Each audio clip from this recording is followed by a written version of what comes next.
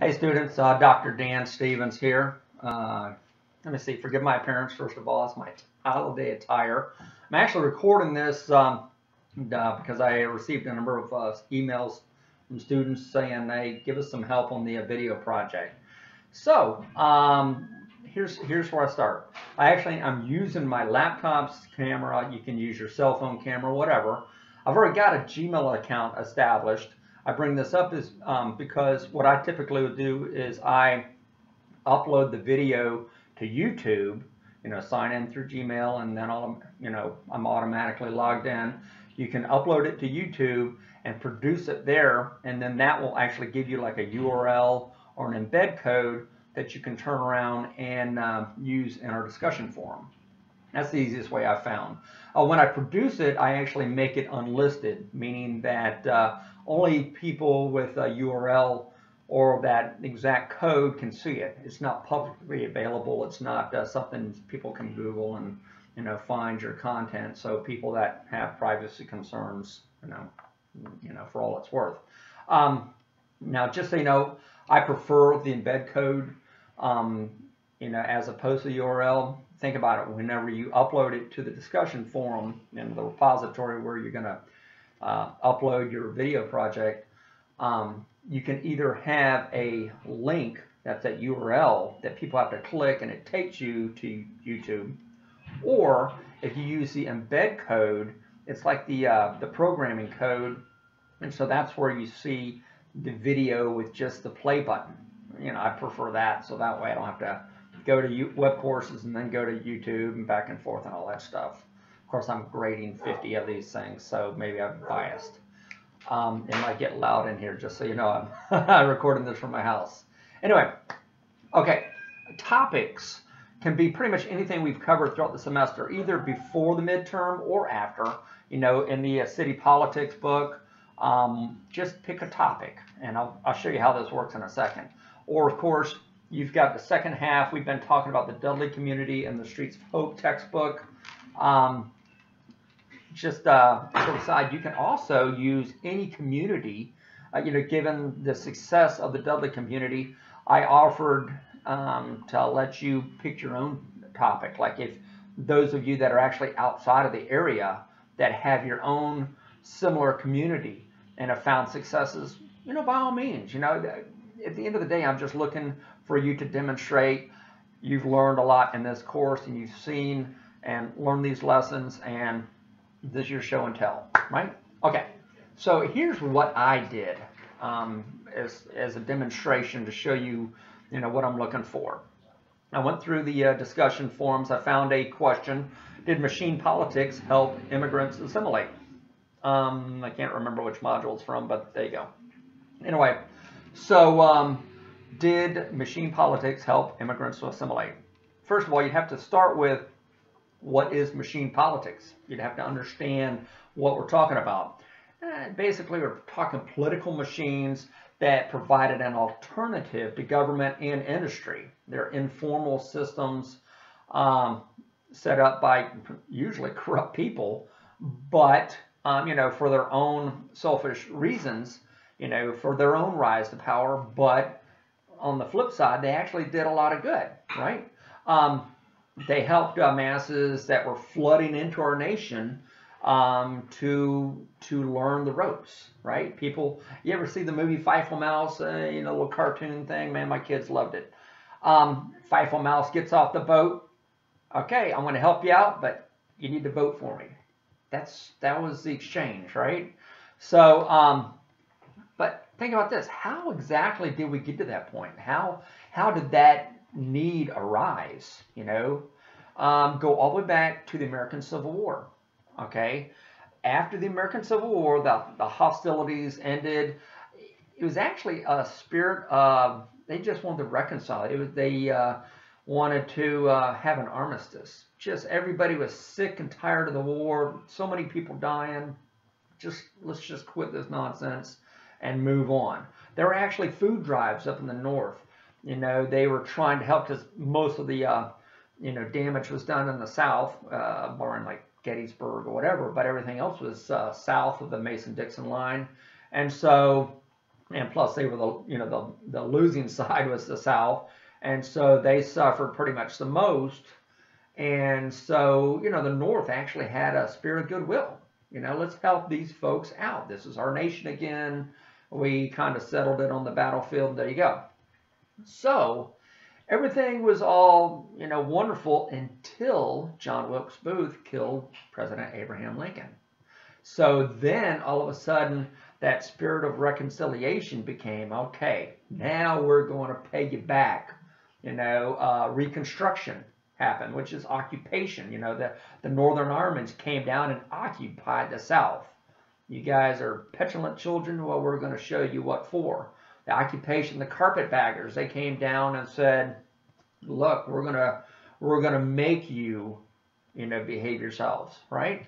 So because of that, um, basically every administration after the American Civil War up to 1900 was Republican, except for uh, Grover Cleveland, who had two uh, non-consecutive terms.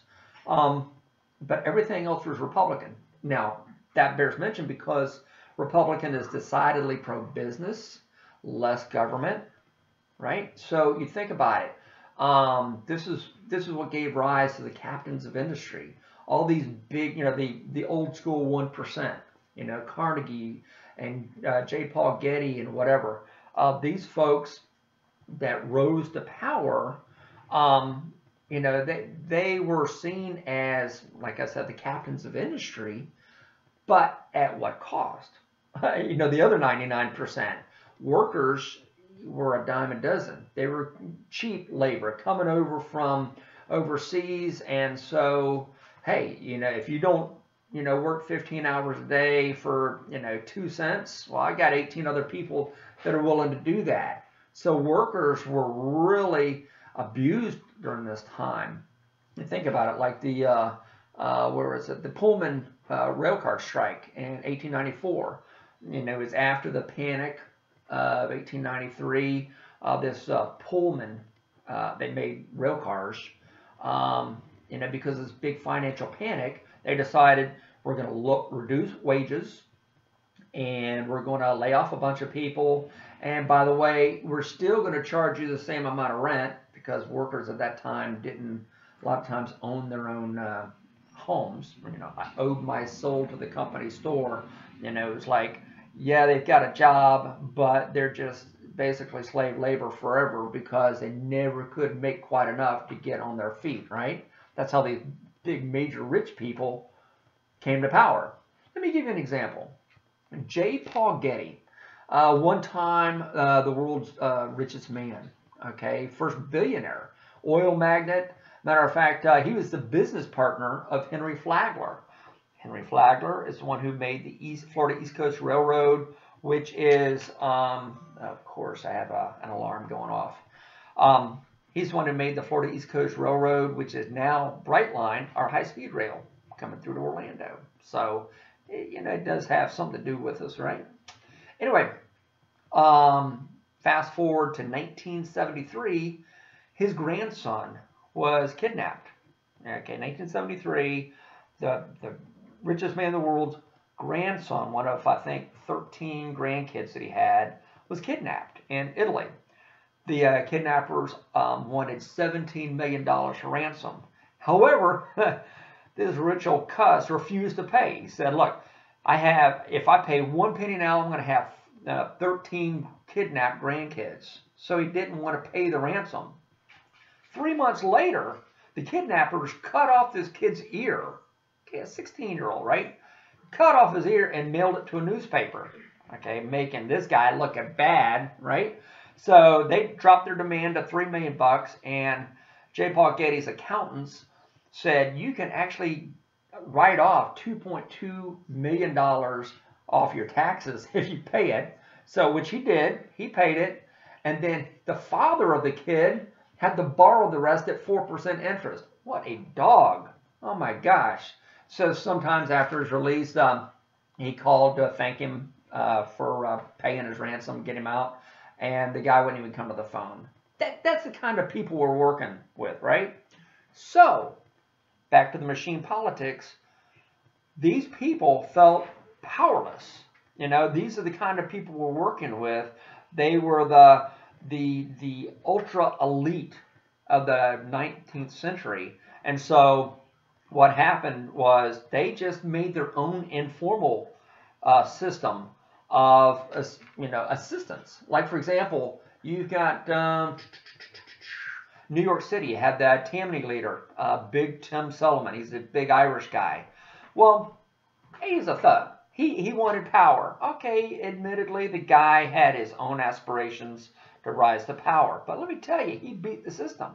Here's the good thing about him. He distributed coal, food, and rent money for all these uh, people that you know needed it, right?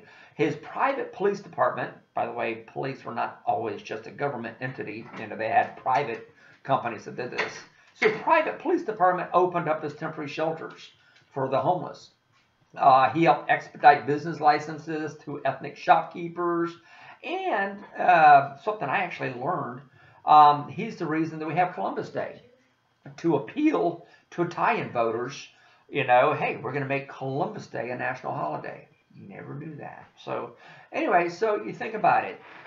They rose to power. They had the pubs, they had the control over the pubs, they had the control over the things that mattered to the little guy. Well, most of these people, the machine politicians, so to speak, were basically students of the School of Hard Knocks. They weren't the highly educated people, the, the blue bloods or whatever. They were the people that just went out there and busted butt and made their own way. And they became symbols of success and that's what appealed to the masses because they're like, hey, if they can do it, I can do it. So that was the power of the machine politicians. And so to answer your question, did machine politics help, you know, the masses, the immigrants assimilate? Yes, they did. Anyway, that's what I would be looking for in a video. So as you go through, pick a topic. You know, you can see I've run on for 12 minutes here. Um, of course, I like to talk, and I also give you some instructions, so you got to give me credit for that. Um, sky's the limit. Go through the table of contents, go through the discussion forums, pick something, and uh, see what you come up with. Okay? Look forward to seeing it.